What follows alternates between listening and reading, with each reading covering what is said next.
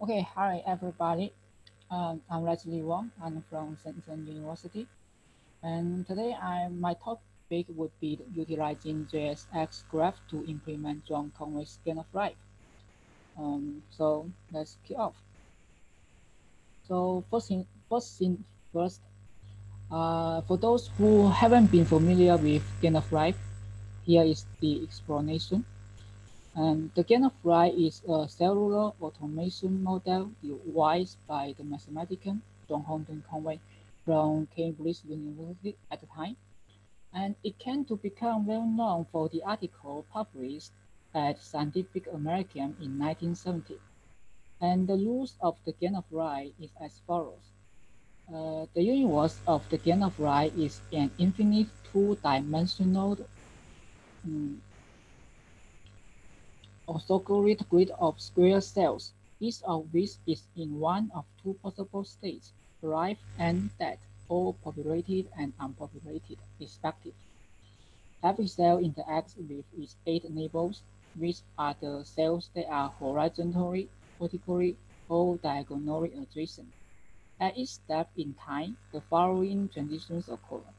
And one, for a box with a live cell, there existing fewer than two live neighbors, the cell dies due to is isolation. And there existing more than three live neighbors, the cell dies due to overcrowding. And there existing two or three live neighbors, the cell lives on to the next generation and two for an empty box or a box with a dead cell. There existing three live neighbors, the box generates a new live cell as if by reproduction. So following these four simple rules, the Game of Life will generate very beautiful patterns when in evolution. And that is the key reason why it attracts so many people uh, after along so many years. And but However, when I want to search some implementation of gain of at Google, yeah, specifically at Google Images, I sadly I'm not able to spot an elegant and appealing implementation of it.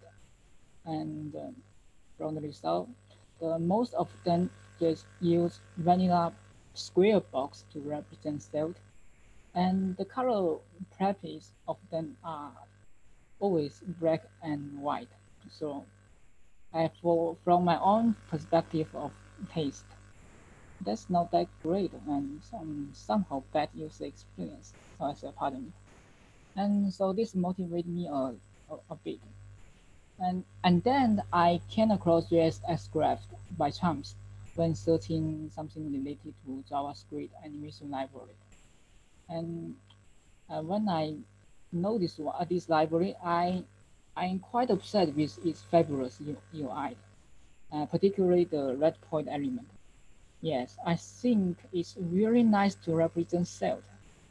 Then when I know JSXGraph better, I am quite overwhelmed by its detailed documentation and, exam and examples.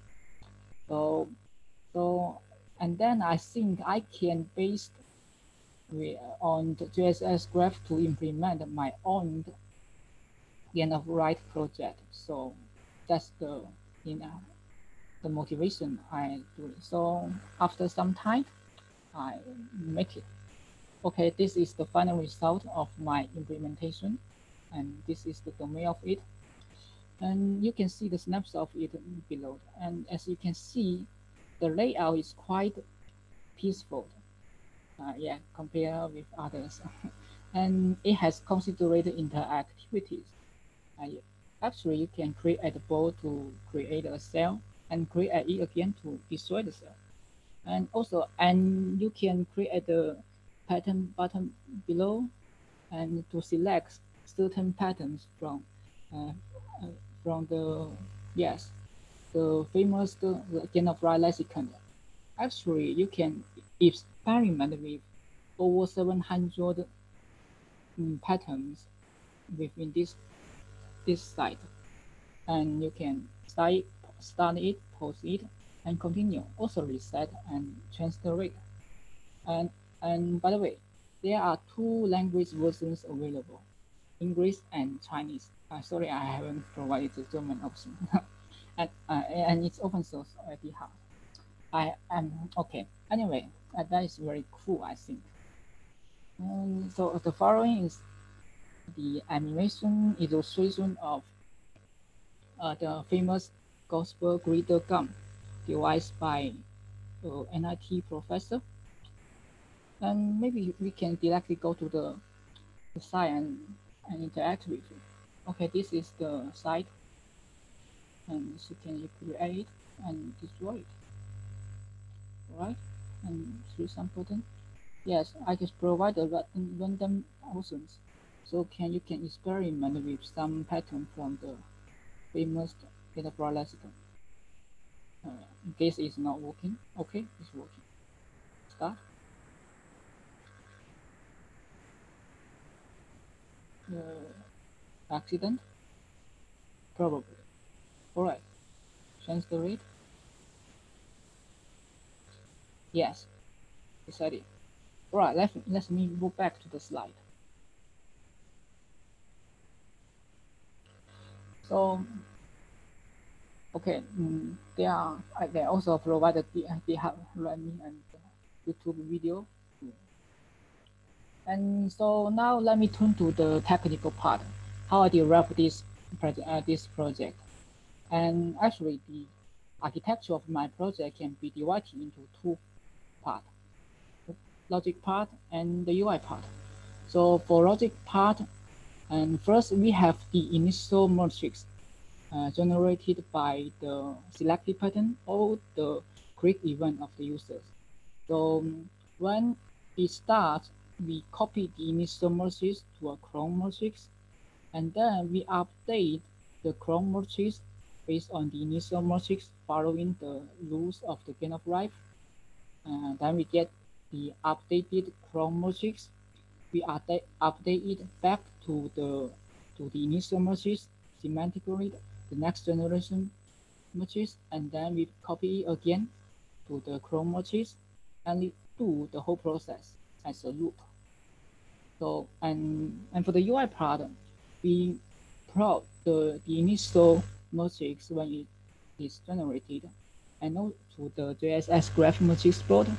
And also we from the next generation machines when it is generated, as well as update the statistic information of the cell info, uh, the evolution and something like that.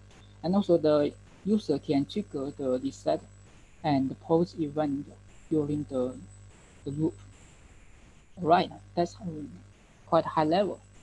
And now let's dig in the, the specific um, JSXGraph code I use within this project. So this snippet is used to create a desired blank JSXGraph matrix board.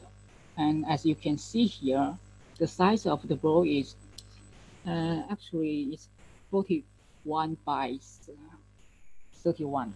Yes. and appending and zooming are not allowed for this use case and, and other and other configurations. All right, so that's it. And the following is the the code to update the JSX matrix board. Uh, uh, first, you I suspend the update and then and update every single point of the the matrix board uh, to create uh, and or destroy the point. So based on the calculation result.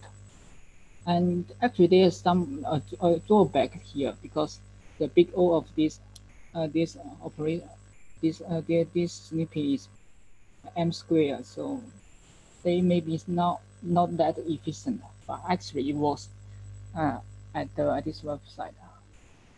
And then after the update, we um, suspend the update and, and plug it to the Luodong.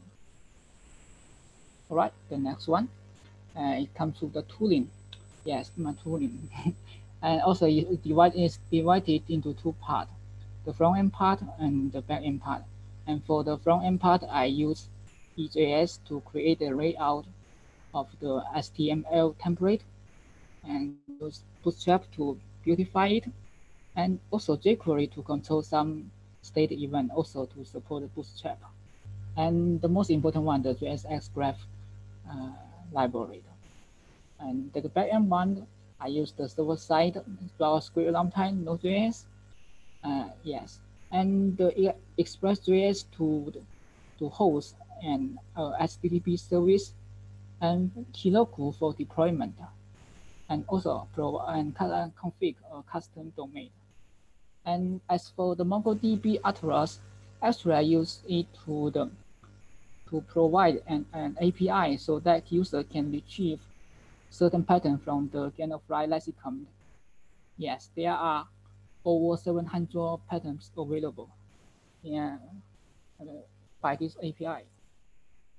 And oh, okay, so now uh, I want to demonstrate my thanks for Mr. Alfred Wassermann for providing this opportunity of a talk. And also he, uh, when I was implementing this project, I, yes, I got into trouble for a while because of I don't understand how to delete the created point when using the JSXGraph. And so when you have trouble, you go to Stack Overflow, and Stack Overflow do help me to solve this problem. And here, and Mr. Alfred Wassermann did help me, uh, yeah, solve this problem. And thanks. And also, I want to demonstrate my build to Mr. Conway John Conway, uh, who passed away earlier this year because of COVID-19. And uh, the, the picture is my tribute tweet towards him. Um, all right, thanks for devising such a wonderful self-automation board. Um, all right, I think uh, this, this is the end of my presentation. Thanks for your attention.